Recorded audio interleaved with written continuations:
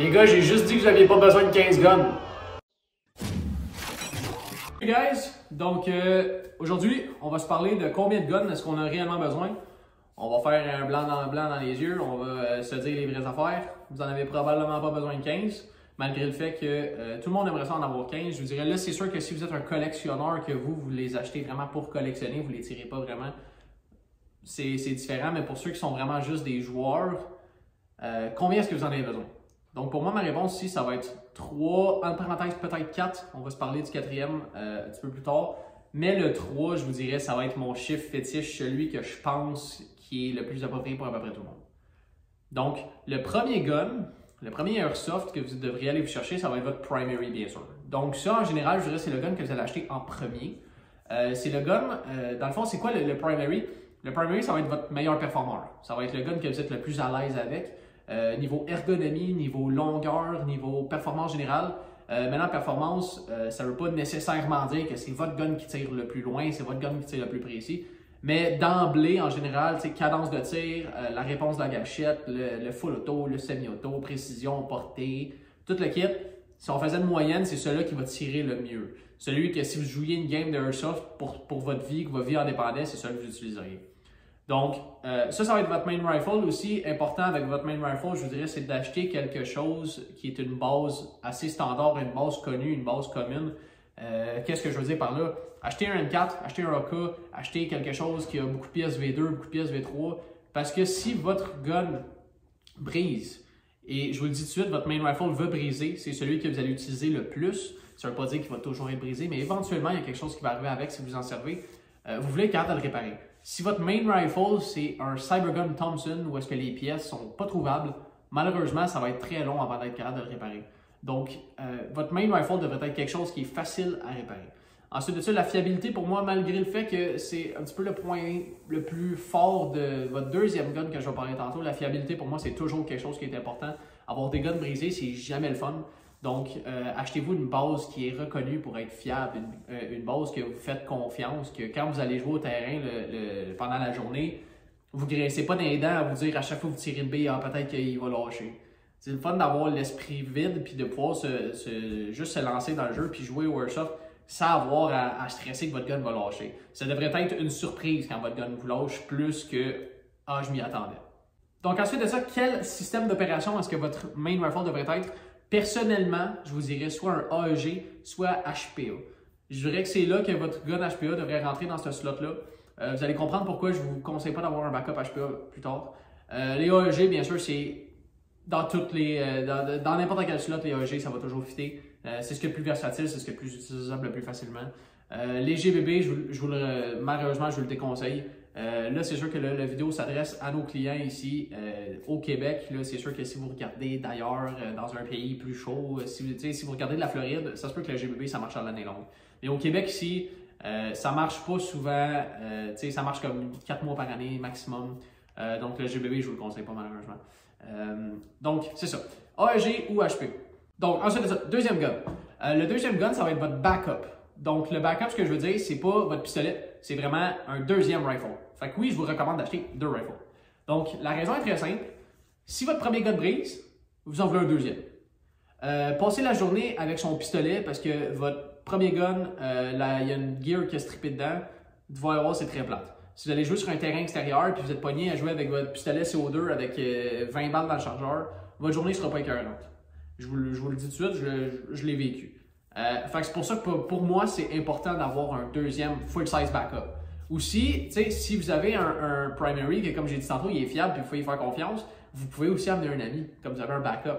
Euh, si vous voulez rentrer des amis à vous dans le sport pour qu'ils viennent jouer avec vous autres, puis vous avez juste sur un terrain extérieur, il y a pas mal plus de chances que votre ami accroche si je vous lui passer un vrai gun que si vous lui passez votre 1911 avec deux mags pour toute la journée. Je vous dis ça tout de suite, là. Si votre chum, là, il vient avec vous autres, puis vous lui passez un 1911 avec deux mecs pour passer la journée, il n'y aura pas de fun. Il n'y aura pas de balles, il ne saura pas comment mettre le CO2, ça va se splasher partout, il va se faire tuer tout le temps, le gun, il va tirer tout croche parce que c'est un pistol, puis passer 100 pieds, ça tire tout croche. Ayez un deuxième rifle. Premièrement pour vous, si jamais votre premier vous lâche. Deuxièmement pour le passer. Votre deuxième rifle, ça va être aussi pour ça que je vous conseille fortement de l'avoir AEG et seulement AEG.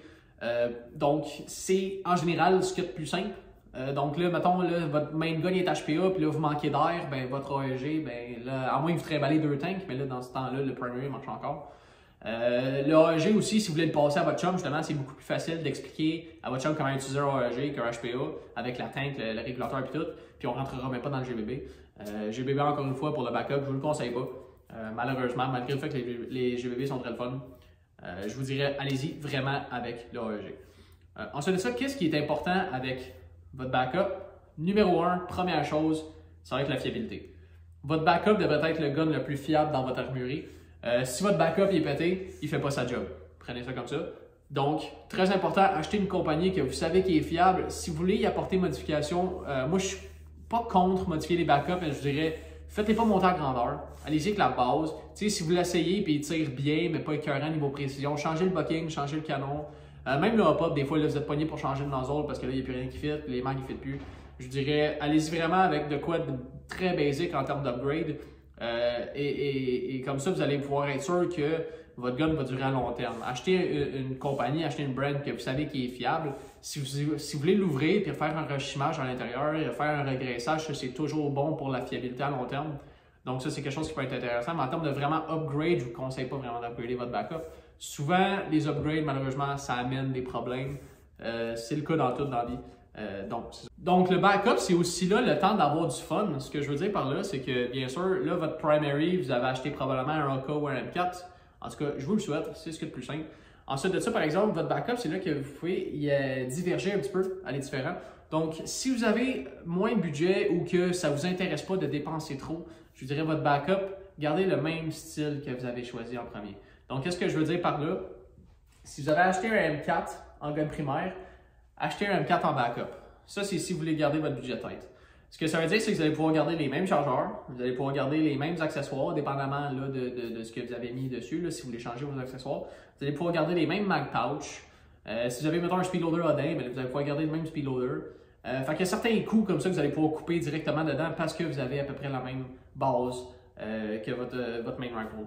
Cela étant dit, si vous voulez de quoi différent, si vous avez un M4, puis là vous aimeriez avoir un beau MP5K comme ça, mais là, c'est peut-être le temps de le faire. Aussi, à l'inverse, vous aimeriez avoir quelque chose d'un petit peu plus long.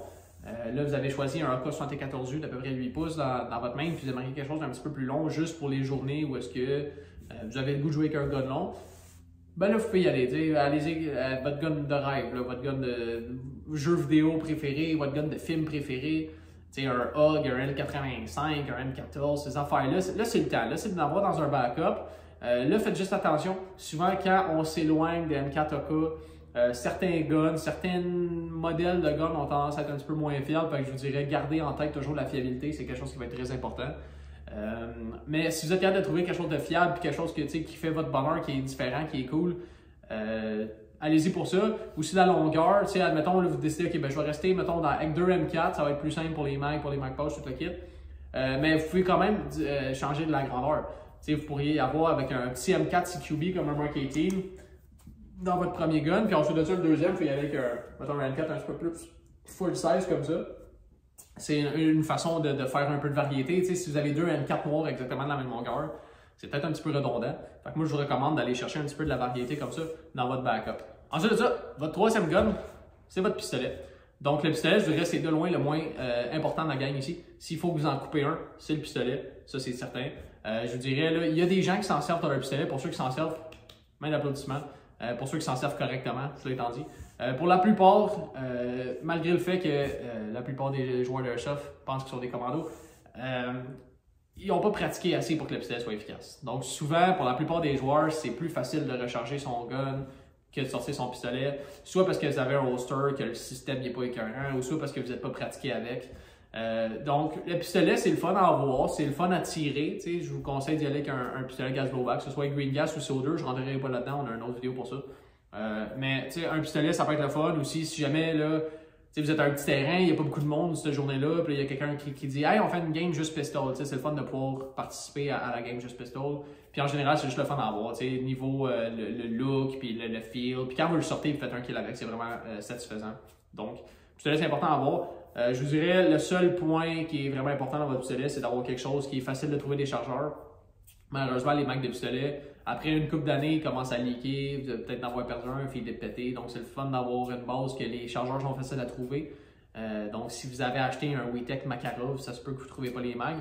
Si vous tripez sur le Makarov, achetez-en un. Mais par conseil, je dirais, tenez-en vous, iCapa, euh, Glock, 1911, euh, les guns de SIG sont très populaires de ce temps-ci. Donc, tenez-en moi des bons comme ça. Ensuite de la fiabilité, c'est sûr que votre pistolet, vous ne voulez pas que ce soit tout le temps pété. Euh, mais à part ça, je dirais un pistolet, il est juste là pour les engagements très proches, puis les fois que vous allez avoir besoin d'en servir. Ça n'a pas besoin d'avoir immensément de features, votre pistolet. Ensuite de ça, on rentre dans la parenthèse, le quatrième gun. Donc, c'est quoi le quatrième gun? Le quatrième gun, n'est pas pour tout le monde. Le quatrième gun, est pour les vrais amateurs d'Airsoft, qui est pour ceux qui, veulent vraiment jouer beaucoup. Euh, je vous dirais, si vous avez 4 guns puis jouez 3 games par année, il y a un problème en quelque part. Euh, mais votre quatrième gun, ça va être de quoi pour vraiment s'éloigner de ce que vous avez de votre setup euh, habituel. Donc le quatrième gun, c'est celui qui est dans le fond du camion, puis qui sort juste une fois de temps en temps, mais quand il sort, maudit que vous avez du fun avec. Donc, ça, c'est là que je rentre votre sniper, votre shotgun, votre gas blowback, euh, votre euh, Daytona, whatever ce que vous voulez utiliser qui est un petit peu plus spécial que la normale, ça rentre dans sa catégorie là. Donc si vous êtes comme moi, gros fan de gas blowback, parce que les gas blowback c'est très le fun, euh, c'est vraiment le quatrième gun. Une fois de temps en temps, c'est quand la température est parfaite, quand le terrain est adapté, sort le gas blowback, gros journée avec, super le fun. si, vous jouez sur un terrain, puis là, cette journée-là, ils vendent beaucoup, ça marche pas, sortez votre sniper. si vous jouez sur un terrain, vous venez de jouer à Rainbow Six, puis là, ça vous tente de jouer au shotgun, sortez votre shotgun. Le quatrième shot est vraiment pour ce gun-là très particulier que vous savez que vous n'allez pas utiliser à toutes les games, mais que vous le voulez quand même.